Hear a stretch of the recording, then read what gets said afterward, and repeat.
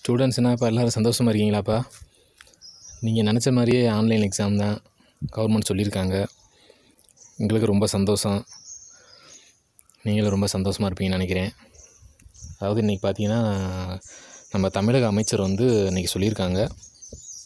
என்ன சொல்லியிருக்காங்கன்னா ஃபஸ்ட்டு செமஸ்டர்லேருந்து அஞ்சாவது செமஸ்டர் வரைக்கும் பாலிடெக்னிக் கல்லூரி மற்றும் இன்ஜினியரிங் கல்லூரி எல்லாத்துக்கும் பார்த்திங்கன்னா ஆன்லைன் எக்ஸாம் தான் நடக்கும். அதில் எந்த மாற்றமும் இல்லை அப்படின்னு சொல்லி சொல்லியிருக்காங்க. ரொம்ப மகிழ்ச்சியான செய்தி தான். முன்னாடி பார்த்தீங்கன்னா என்ன சொல்லியிருந்தாங்கன்னா அதாவது முன்னாடி எல்லா மாநிலத்துலேயும் ஆன்லைன் எக்ஸாம் கன்ஃபார்மாக சொல்லிட்டாங்க. தமிழ்நாட்டில் மட்டும் கன்ஃபார்மாக சொல்லலை. என்ன ரீசன் பார்த்தீங்கன்னா நம்ம தமிழக மா மாணவர்கள் வந்து தரமில்லாத கல்வியாக வந்து மாறிடும் அப்படின்ற நல்ல எண்ணத்தில் கவர்மெண்ட்டில் கொஞ்சம் வெயிட் பண்ணாங்க.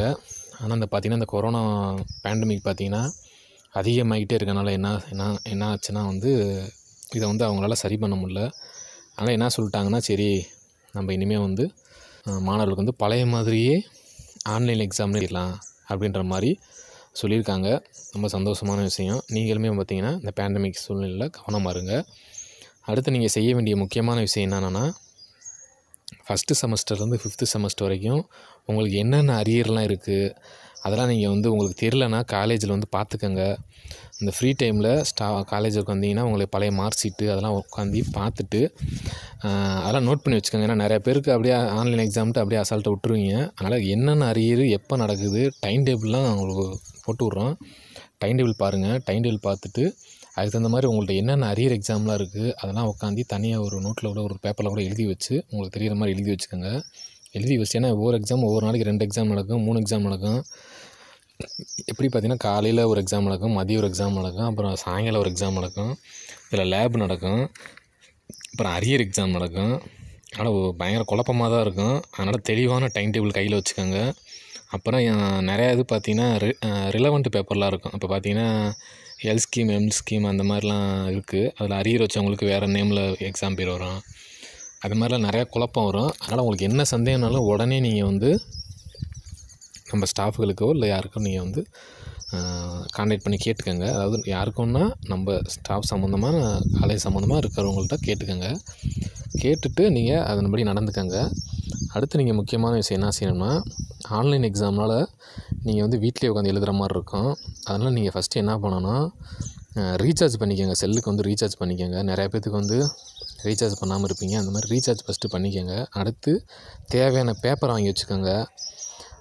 ஏன் ரீசார்ஜ் பண்ணுங்கன்னு சொல்கிறோன்னா நிறையா பேர் சுவிட்ச் ஆஃப்னு வருது. கால் பார்த்தீங்கன்னா சுவிட்ச் ஆஃப்னு வருது. அந்த நம்பருக்கு தான் நாங்கள் கொஸ்டினோ இல்லை வாட்ஸ்அப்லேயோ அந்த மாதிரி நம்பருக்கு தான் நாங்கள் பண்ணி விடுவோம். ஆன்சர் பண்ணி விடுவோம். அப்போ நீ அந்த கொடுத்த நம்பருக்கு நீங்கள் ரீசார்ஜ் பண்ணிக்கோங்க. அடுத்து பத் அடுத்து வந்து உங்களுக்கு வந்து எக்ஸாம் ஸ்டார்ட் ஆகிறதுக்கு கால் மணி நேரத்துக்கு முன்னாடியோ இல்லை ஆஃப் அன் ஹவருக்கு முன்னாடியோ உங்களுக்கு வந்து கொஸ்டின் வந்து வாட்ஸ்அப்பில் அந்தந்த குரூப்பில் போட்டு விட்ருவோம் நீங்கள் ரெடியாக கொஸ்டினை பார்த்து நீங்கள் ப்ரிப்பேர் பண்ணிக்கணும்.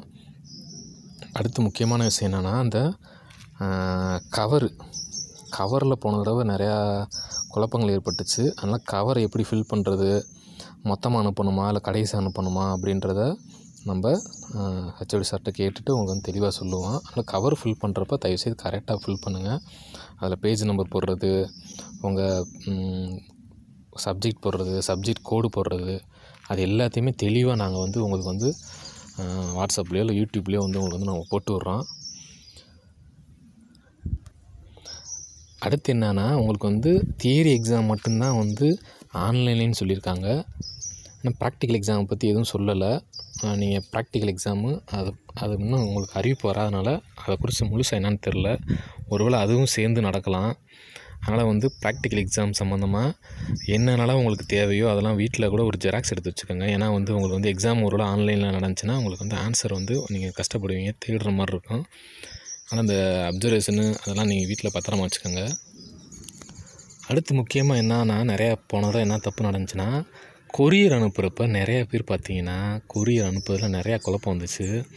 தயவுசெய்து கொரியர் அனுப்பிச்சிங்கன்னா நீங்கள் கொரியர் ஆஃபீஸில் ஒரு ரிசிப்ட் கொடுப்பாங்க. அந்த ரிசிப்டை பத்திரமா வச்சுக்கோங்க. நிறைய பேருக்கு வந்து கொரியர் இங்கே வரல. அப்புறம் பார்த்திங்கன்னா கொரியர் ஆஃபீஸில் போய் பார்த்திங்கன்னா அங்கே பெண்டிங்லேயே வச்சுருந்தாங்க. போஸ்ட் ஆஃபீஸில் அது மாதிரி ஒன்று ரெண்டு பெண்டிங்கில் இருந்துச்சு. ஆனால் அவங்க வந்து உங்கள் கொரியர் அனுப்பிச்சுட்டிங்கன்னா ரெஜிஸ்டர் போஸ்ட் பண்ணுங்கிறது உங்களுக்கு நன்மையாக இருக்கும். நீங்கள் சாதா போஸ்ட் பண்ணிங்கன்னா உங்களுக்கு போச்சா போகலன்னே தெரியாது. ரெஜிஸ்டர் போஸ்ட்டு பத்து ரூபா அஞ்சு ரூபா கூட தான் வரும். அது பண்ணிங்கன்னா கண்டிப்பாக சேஃபாக காலேஜுக்கு வந்துடும் ஏன்னா அதில் சைன் பண்ணுற மாதிரி இருக்கும். நீங்கள் சாதா போஸ்ட் பண்ணிங்கன்னா கண்டிப்பாக அதில் ஏதாவது தவறு நடந்தால் உங்களுக்கு அதுக்கு ஃபைன்லாம் போயிருங்கய்யா அதனால் வந்து கவனமாக போஸ்ட் பண்ணுங்கய்யா ஆல் தி பெஸ்ட்டு நல்லா எக்ஸாம் எழுதுங்கய்யா தேங்க்யூயா